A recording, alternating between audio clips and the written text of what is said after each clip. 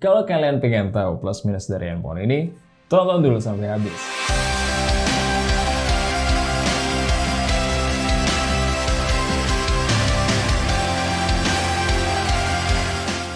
Hai Smart Buyer, gue Rizky. Kali ini kita akan full review untuk Realme 9 Pro Plus 5G. Kira-kira plus minus dari handphone ini apa aja? Let's check this out.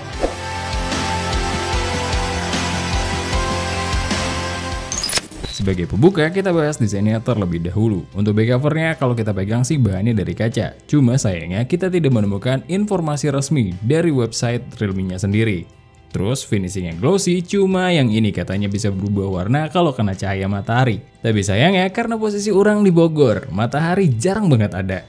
Cuma adanya pagi, dan kalau pagi kita sibuk banget. Bodinya cukup kompak, enak, dan solid digenggam. Untuk frame kameranya sendiri, platformnya bumpy banget dengan garis desain mirip dengan versi non plus, dengan dua lensa besar dan satu lensa kecil pada bobanya. Kalau untuk bagian depannya, luas layarnya di 6,4 inch yang bertipe pansol. Bezel standar aja untuk ukuran zaman sekarang, dengan bagian dagu yang lebih besar dari sisi lainnya. Untuk perlindungan layar, HP ini kalau di website resminya di Indonesia, Realme tidak menyediakan informasi menggunakan produk apa. Tapi kalau di websitenya India, udah pakai Corning Gorilla Glass 5 dan sudah ada bawaan anti gores yang sudah terpasang. Untuk tombol-tombol ada perbedaan sedikit pada peletakan buttonnya.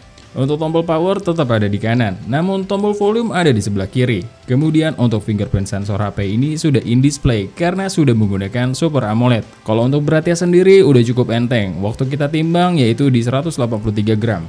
Untuk kelengkapan lainnya, HP ini masih membawa audio jack 3,5 mm, dual microphone, dan port USB Type-C.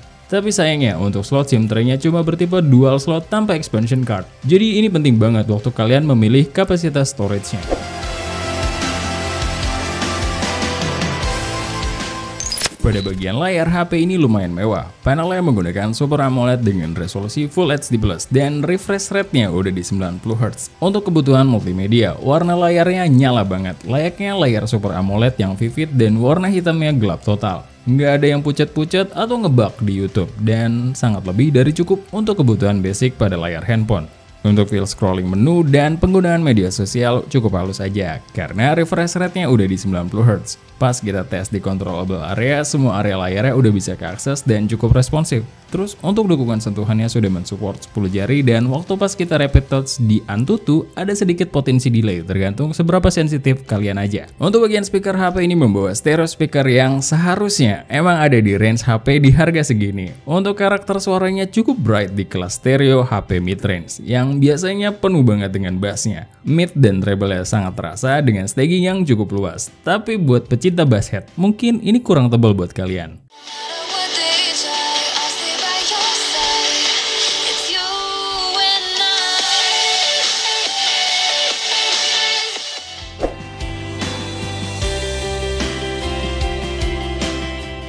Saat penggunaan HP ini kita mendapatkan update sekali dan update-nya sih cuma sebatas di stabilitas dan security update aja. Di skenario harian sampai saat video ini kita buat belum nemu ada bugs yang ganggu. Untuk kelengkapan sensor di sini udah cukup lengkap layaknya HP di kelas harganya karena sudah dilengkapi gyro hardware. Dan HP ini pun sudah dilengkapi NFC. Wajar lah ya. Untuk fitur biometriknya sudah dilengkapi face unlock dan fingerprint sensor yang bertipe in display. Dan ini bisa jadi heart sensor juga. Ya kalian udah tau lah ya di banyak review lainnya. Kalau untuk penangkapan jaringan sinyal, ini HP sepengalaman kita buat Indosat. Agak naik turun entah karena cuaca dan Indosatnya gangguan atau emang dari handphonenya. Tapi waktu pas kita speed test hasilnya sih cukup kencang baik dari speed download dan uploadnya. Kalau untuk penangkapan jaringan sinyal WiFi ini mantep banget, stabil dan lumayan jauh jangkauannya karena kita ngetes dengan SSID yang jaraknya 12 meter dari tempat biasa kita ngetek gambar. Dan HP ini bisa nahan barnya penuh, jarang banget turunnya. Saat kita lakukan speed test baik dari speed download dan uploadnya, udah cukup maksimal dari HP-HP yang udah pernah kita tes di sini.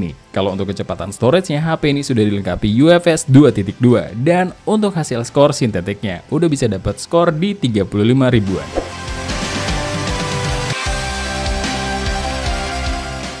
Untuk kamera sendiri di bagian belakang, HP ini dibekali 3 lensa, 50 megapiksel di kamera utama dengan sensor Sony IMX766 OIS, 8 megapiksel ultrawide dan 2 megapiksel lensa makro. Untuk kamera depannya beresolusi 16 megapiksel. Pada mode auto, untuk warnanya sendiri di sini ciri khas Realme balik lagi. Di mana kalau yang versi non plus kan lumayan nyantai tuh dan gak terlalu gonjreng lah. Kalau yang ini kenaikan saturasi dan vibrance-nya sangat kerasa. Plus minus lah, ada yang suka karena langsung bisa diposting, tapi buat yang suka grading sendiri, biasanya ngindarin sih. Detailnya cukup bagus dan separasi warnanya juga cukup jelas. Sama HDR-nya udah cukup mantep.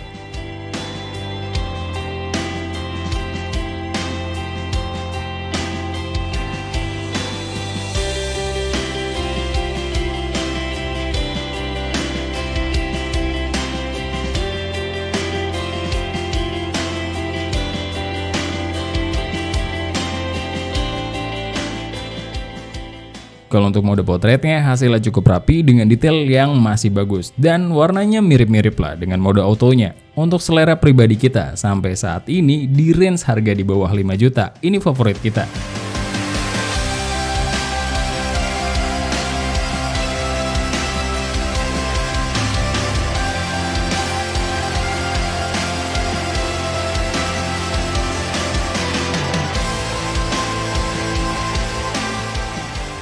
Di mode ultrawide-nya untuk detail terjadi penurunan, jadi agak lebih soft. Tapi HDR-nya masih lumayan lah. Untuk kondisi low light, hasilnya karena handphone ini pakai OIS, jadinya cukup membantu untuk kondisi ini. Hasilnya cukup baik dan ada sih noise-nya. Tapi kita butuh layar yang lebih besar atau zoom in di handphone kita.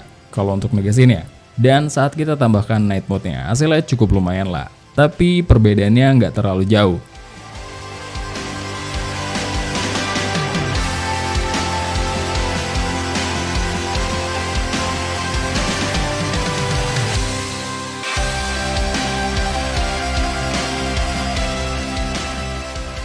Untuk hasil kamera selfie-nya, warna dan kecerahannya dinaikkan sedikit dari aslinya dengan detail yang cukup halus dan gak ada yang spesial sih kalau di sini. Kalau pada selfie potretnya, warnanya juga nggak terlalu berbeda dari mode autonya. Untuk bokehnya cukup dalam tapi nggak rapi. Pindah ke perekaman video kamera belakangnya. HP ini sudah bisa merekam di 4K 30 fps dan hasilnya warnanya tajam banget, detailnya bagus dan autofocusnya lumayan. Kalau stabil ya udahlah ya, udah pakai OIS juga. Terus ada opsi 1080p 60 fps yang punya kebutuhan untuk mode video dengan fps tinggi. Detailnya juga masih bagus dengan warna yang cukup tajam. Dan untuk kestabilannya juga cukup oke. Di 1080p 30 fps kalian punya opsi ultra wide yang hasilnya keduanya sama-sama udah stabil, tapi untuk ultra wide-nya secara detail lumayan turun, plus warnanya juga agak kemerahan. Kalau untuk lensa wide-nya secara warna nggak ada bedanya dengan yang 60 fps. Jadi ini hanya perbedaan fps-nya aja. Untuk kamera depannya, HP ini bisa mensupport di 1080p 30 fps dan defaultnya sudah dilengkapi stabilizer elektronik.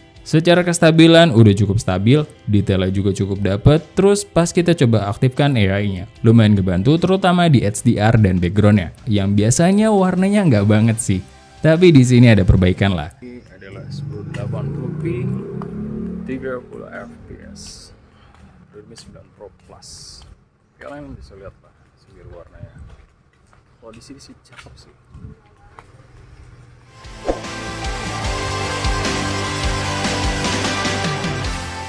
Untuk urusan baterai, HP ini belum masuk dalam tim goceng alias baterainya coba di 4500 mAh. Ya pertimbangannya mungkin karena bodinya yang compact dan sudah menggunakan chipset yang irit baterai dan layarnya Super AMOLED. Untuk pengecasannya sudah support di 60 watt. Untuk pemakaian sehari-hari hitungannya nggak jauh berbeda dari versi yang non plus yang baterainya udah di 5000 mAh. Sebagai gambaran, SHT HP ini di pengetesan PC Mark bisa tembus 10 jam juga loh. So udah lumayan lah ya. Dan untuk pengecasannya sendiri dari 1 sampai 100% membutuhkan waktu di 48 menit. Kalau untuk performa, HP ini sudah dibekali chipset Mid 5G terbaru dari MediaTek yaitu Dimensity 920 dengan GPU Mali G68 MC4, RAM-nya 8GB dan storage yang kita punya di 128GB. Tapi ada opsi di 256GB. Untuk skor Antutunya kita bisa dapat skor di 493 ribuan. Sebagai gambaran, Genshin Impact di medium 60 fps. Hasilnya kalau lagi di dungeon, FPS-nya masih di bawah 50 fps-an saat intensitasnya lagi tinggi. dengan FPS terendah di 35-an. Tapi untuk di open map lumayan berasa sih, FPS rata-ratanya cuma di 23-24 FPS-an dan tertingginya paling di 34-35 FPS-an. Jadi kalau dibandingkan dengan versi yang non plus, ini masih belum optimal. Biasalah, MiHoYo agak lelet buat optimalin MediaTek. Untuk suhunya sendiri, di settingan ini paling tinggi ada di 47 derajatan dan untuk konsumsi baterainya selama 30 menit ada di 10%. Kalau untuk PUBG New State, di sini settingan mentoknya udah bisa main di settingan grafik ultra dengan frame rate max experience di dalam gamenya udah aman banget. Walau detail grafik yang lebih tinggi, HP ini tetap gak keteteran untuk render teksturnya. FPS-nya cukup stabil dan rata. Kalaupun jatuh, hitungannya nggak kerasa sih, karena cuma di 54 FPS-an. Setelah bermain selama 30 menit, suhu di handphone ini ada di 45 derajatan paling tinggi dengan konsumsi baterai di 10%. Untuk Mobile Legends, HP ini sudah bisa main di Ultra HFR. Untuk pengalaman di dalam gamenya juga udah cukup aman dan lancar tanpa ada kendala berarti dengan FPS yang terjaga dari awal sampai akhir tes. Dan untuk suhunya sendiri paling tinggi cuma di 41 derajatan dengan konsumsi baterai selama 30 menit ada di 9%.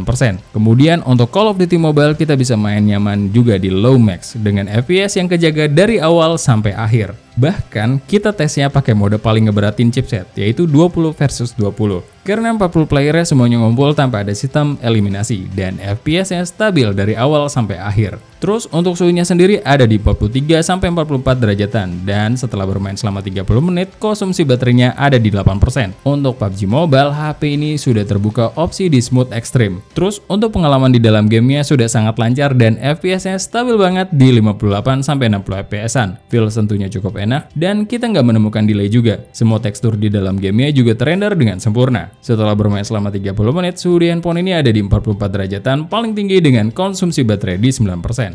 Mudah-mudahan setelah lihat video kita, kalian udah tahu lah gambaran dari handphone ini.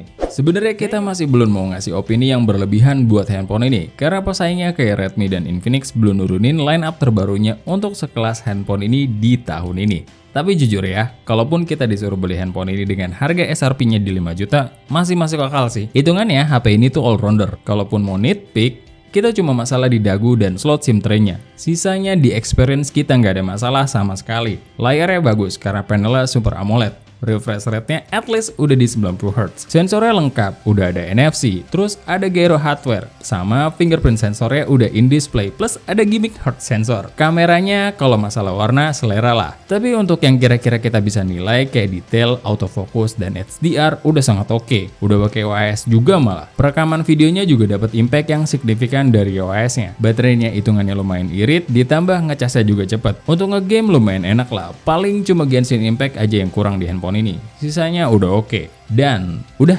tugas kita mah cuma ngetes. Lagi-lagi keputusan di tangan kalian. Thank you for watching. Sebelum pamit, ingat, research before you buy and be smart buyer. See ya!